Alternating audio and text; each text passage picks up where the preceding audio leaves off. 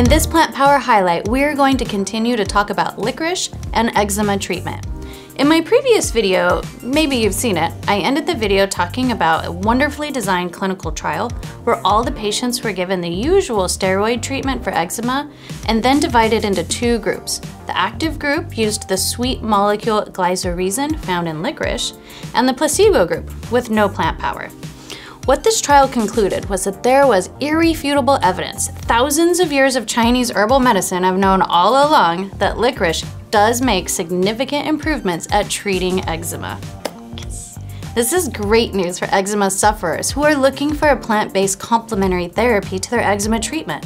Unfortunately for me and my skincare interests, this study gave the patients oral capsules full of glycyrrhizin, not topically.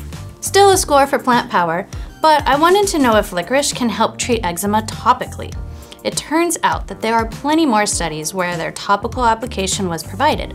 They're just not as well designed as the one I highlighted before. However, in one particularly interesting study, researchers found that in a head-to-head -head trial, which is like a competition, they gave one group the typical treatment of eczema, 1% hydrocortisone cream, and the other group 2% licorice root extract in a gel. What they found was that the licorice group had reduced swelling and itching at the same extent as the hydrocortisone group, and they healed their lesions faster. That's really cool news.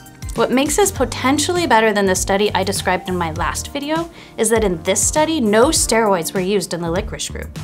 In the previous study that I looked at, licorice was an add-on therapy to the steroids. So hooray for licorice! It turns out you don't need steroids to help you work your plant power. So let's have a chat of how licorice is working in our skin. Researchers have found that when skin cells were treated with licorice root extract, the membranes of the cells became more permeable, meaning they were letting things in and out of the cells much easier. Along with this finding, also, red blood cells came into contact with licorice molecules. They too had physical changes detected on the surface of their cellular membranes. In theory, when red blood cells are under the influence of licorice, they are more ready to deliver their oxygen and nutrients to nearby cells in distress.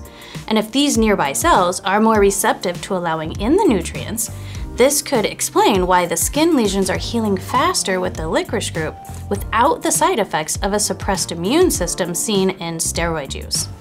Licorice molecules are working with the body and not against the body of its natural system of healing. For example, Chronic licorice application does not reduce keratinocyte production in the skin like steroids does. Keratinocytes are the cells that bring bulk and thickness to the skin. So over time, if they're continually being suppressed, this will lead to thinning skin, which we know tears easily and leads to other problems. Additionally, over time, steroids reduce the amount of natural hyaluronic acid our skin makes, which is the main moisturizing ingredient in our skin. So less hyaluronic acid in turn causes dry skin and thus potentially perpetuating the eczema cycle all over again. Lastly, licorice does not down-regulate the production of collagen type 1 and 3 in the dermis. This is important because the first stages of wound healing are to increase these two types of collagen, which literally sew together the opening of a skin lesion. Steroids slow this production and slow the rate of which a wound can heal, even without chronic use. Now I have to say, steroids are not always bad, and they definitely have their place in medicine and eczema treatment. However, their chronic use is a big problem, and doctors and dermatologists will admit that too. Will licorice solve all of your eczema problems? Probably not. But will it help? Most definitely. And should science and Western medicine give more credit to the plant power of licorice? Of course! Alright, that's all for now. I will see you next time.